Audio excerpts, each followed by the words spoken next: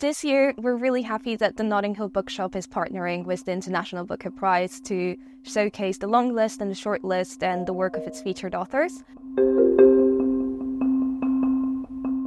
Well, Richard Curtis, who wrote the film, lived around the corner, and he came into the shop one day and he said, I'm thinking of writing a film set in a bookshop. Can I sit and take notes? So I said, Sure. Never thinking it would happen because people say that kind of thing all the time.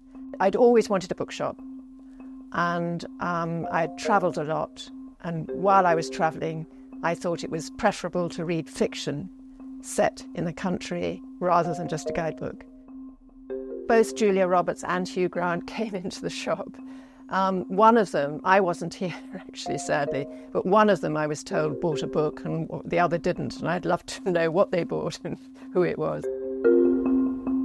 We find that we get people from all over the world who've seen the film, who love the film, and for them it's like they've come on a pilgrimage.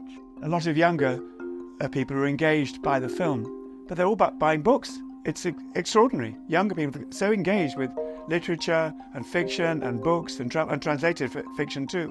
I think we definitely see translated fiction is very popular among the younger crowd, especially I would say 20s to mid 30s customers. I think that's our biggest group that shops for translated fiction.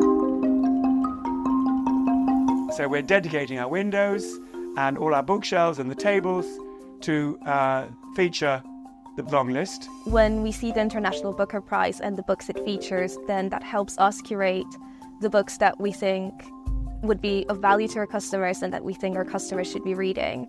And it also means that customers are themselves driven to seek out those books when they come in the shop. It's really nice because our team's fairly international, and especially this year, some of the authors share nationalities with members of the team ourselves, which is really fun.